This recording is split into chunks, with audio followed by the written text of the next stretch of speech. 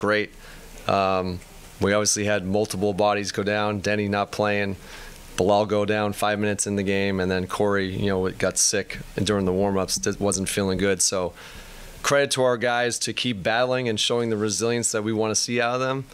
Um, I thought Jordan and Kyle really stepping up, pushing us, but then we had great contributions from, you know, Patrick Baldwin Jr., Johnny Davis, Jared Butler. Those guys came in and gave us great minutes. Richaun Holmes, who's new to our team. So, like, the whole team was a team effort to get us to the end, and uh, I was proud of how the guys kept fighting. How were Corey and Bilal feeling now? Uh, Corey, we'll see. You know, see how he feels tomorrow. Uh, Bilal, you know, we got injured during the game, so we'll you know we'll we'll know more information as we go. Coach, uh, what did you see from Jordan uh, tonight and his performance, and what do you think uh, he has to do to establish a, a, baseline of consistency to, you know, kind of help him finish out his season strong? I think one of the things I said, uh, you know, a couple days ago, Jordan has been one of the highest net ratings since I've coached. So, like, Jordan has played well for us. Um, now we're seeing him in a different type of role the ball in his hands a little bit more, and I see we're seeing incremental gains in the last three games from this. And I think we're going to continue to see that, and that's what I expect from him. Brian, uh, how limiting was the absence of size on the wing and maybe the lack of size defensively down the stretch? Um, I, know, it probably played a factor, um, but our guys battled. Like they hit some tough contested threes over us. It wasn't like they manhandled us in the paint when it was offensive rebounds and stuff. I thought our defense was solid. We contested some of those threes, and they made them. And that's sometimes how it goes. But I thought our guys battled, you know, and you know we did a, a pretty good job on Garland and Mitchell. Um, those guys didn't shoot what they usually do and don't didn't score what they usually do.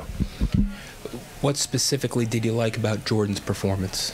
Um, uh, like I told Jordan when, from when I started coaching, I want him to be an aggressive, to be in attack mode, and he did that. And he did that for himself, and he did that for others.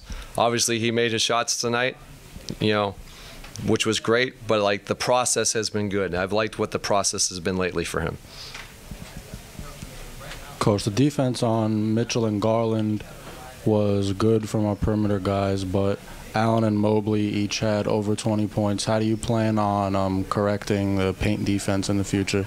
Some of that was basis a little bit of what we were doing, trying to get the ball out of those hands. So a little bit is they were going to get receiving end passes. Um, so they were, they were going to probably have an uptick, but we would live with some of that. We made mistakes. We're going to look at it tomorrow and get better at it. But we wanted to make Mitchell and Garland passers you mentioned uh, the defense against Mitchell and Garland. How do you think Johnny Davis did in, in that situation? I thought he was great. Uh, got caught with the one foul and you know went for the pump fake, but other than that, Johnny's been great. The, last three games, his defense has been great. His defensive rebounding has been great. He brings great energy.